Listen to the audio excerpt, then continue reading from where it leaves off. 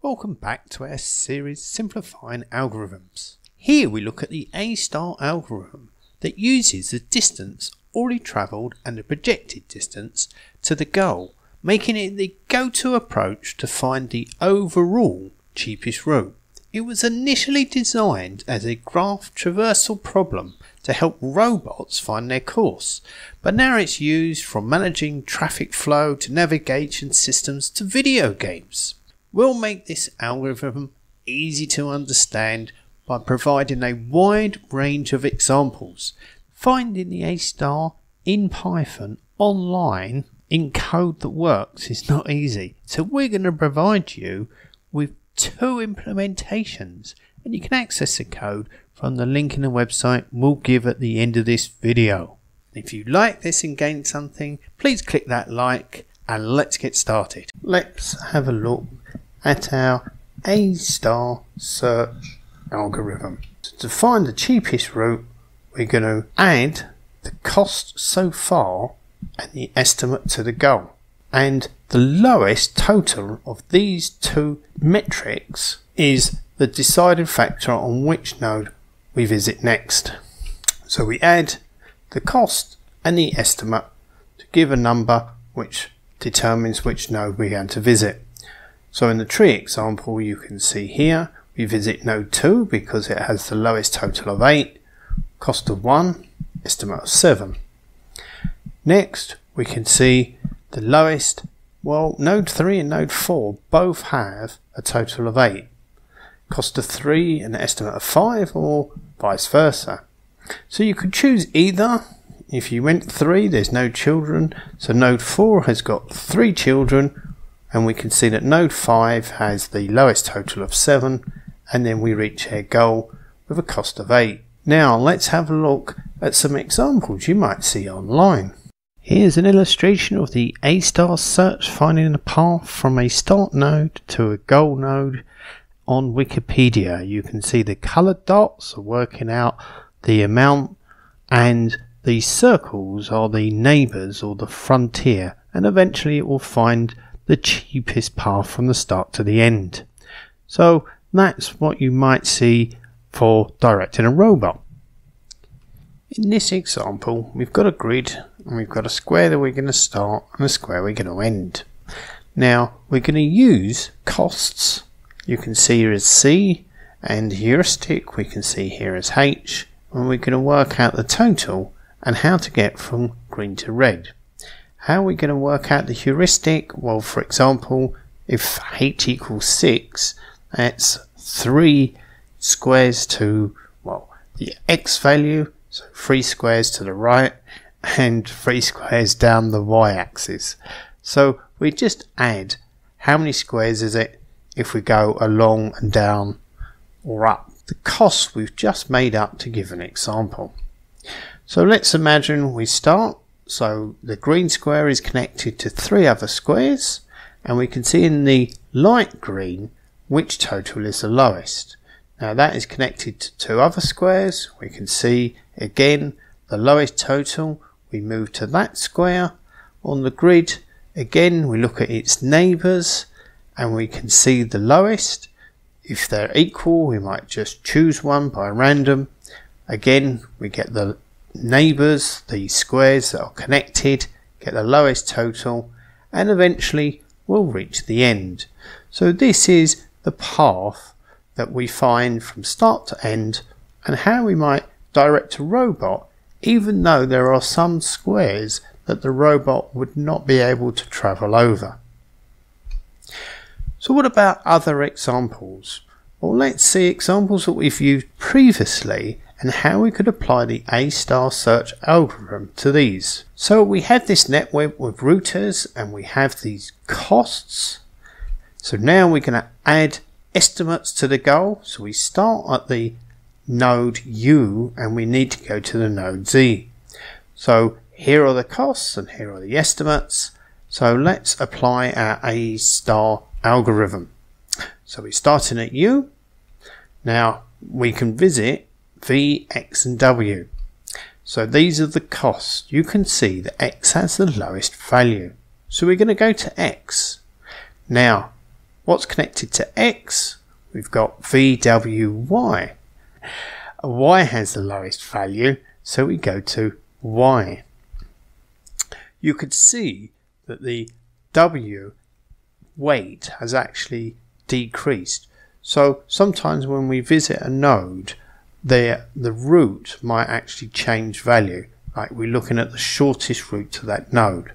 So W's been updated to 8, whereas previously it was 9. Okay, so from Y we can go to Z, that has the lowest value of 4, and actually that's our goal. So we can see we've gone from U to X to Y to Z with a cost of 4. So that was our shortest route. How about our example using the greedy search? Well here we've got a person who wants to find their friend and there's several locations that we can visit and we've got an estimate to how far they will go.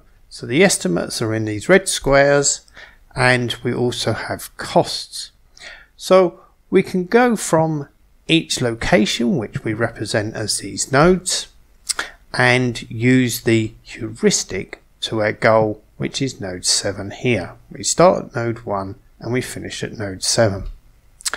So let's have a look. In our A star search, we've got node 2 of a cost of 26. So we've got 15 of the cost to the node and the estimated heuristic of 11 with a total of 26. If we go to node 3, there's an estimate of 10 to go, and we've gone 4, so that's a total of 14. So we're going to go to node 3. Now from node 3 we can go to node 4 or node 5 and you can see node 4 has the smallest total cost. So we go to node 4 and then we can go to node 2 or 5 so we re-evaluate the cost and node 5 has the lowest cost if we go via node 3. So we actually change our route to get to node 5 and now we can see our values and which has the lowest cost which is uh, node 6 and then we can go from node 6 to node 7 which is our goal and we can achieve that with a cost of 18. So that's how we've used A star search to get from node 1 to node 7. Final example was using our London attractions. And we use this for our informed search. So here's a map of London and here we've got some London attractions and we want to visit Liverpool Street Station but we're starting at Buckingham Palace. So how can we get from Buckingham Palace visiting some of these attractions and finish up at our goal? Well, here's our attractions. We're going to use nodes, so we're going from node 1 to node 9, and we've got these distances that we've got from each of the locations, the attractions, how many kilometres are they from Liverpool Street Station. So we can apply these on our map using the nodes. You can see these are our estimates to the goal. Now let's use our A-star search algorithm. So we need to add the costs with these heuristics. So we start at 1. So if we go to either 2, 3 or 4, the cheapest route is to go to node 2. Now that has a total of 4.1. Cost of 1, estimate of 3.1 to the goal. From node 2 we can go to 5 or 6. Node 5 has a total of 1 plus 1.5 plus 2.6, which is 5.1. From node 5, we can go to node 7 or node 8. Cheapest route is 5.8, which is from 1 to 5 to 8. And if we carry on to our goal, you could see this is our route from 1 to 2 to 5 to 8 to 9. So that was our cheapest route of London attractions using our A star search and here it is on the map. Now we promised you the Python code, so let's start off with the first simple implementation. Let's look at this code. So we start off with the node we've used previously, and here we have our A star search algorithm. We go through, let's make sure you can see all of the code. we have tested it. uh, let's get to, uh, let's run it actually, and you can see the input 000111, which is the root. So here's the A star algorithm code. The heuristic, which is a simple Manhattan distance, so essentially how many along and how many down. And here we just have a simple uh, four node graph 0, 0, 0, 1, 1, 0, 1, 1 um, to test the code, which as you can see when we run it, it did output. Earlier we looked at this graph. Now let's implement this in Python. And what happens if you want to use a grid and have some places that are blocked off? Well, again, we're going to use the same code, um, but we're slightly altered here. So we're going to go down and you can see that we've created a grid and also we've got areas that are blocked. These nodes are blocked from the algorithm. So we can define the block codes we use in a graph. We start at 0, 0. Remember we've got 5 by 5. So we've got 0, 1, 2, 3, 4, 0, 1, 2, 3, 4 down as well. And our goal node. Now when we run this, you can see we've got, let's make this output a bit bitter, uh, a bit bigger. uh, let's run it again. Okay, so we started off at 0, 0, then 1, 0, 2, 0, 3, 0, which is basically going along the top, then down 1, then along, then down 1, and then down 2. So that was the optimal path it found in our code, our second implementation. Okay, well, if you enjoyed that, please give us a like, and if you haven't already, subscribe.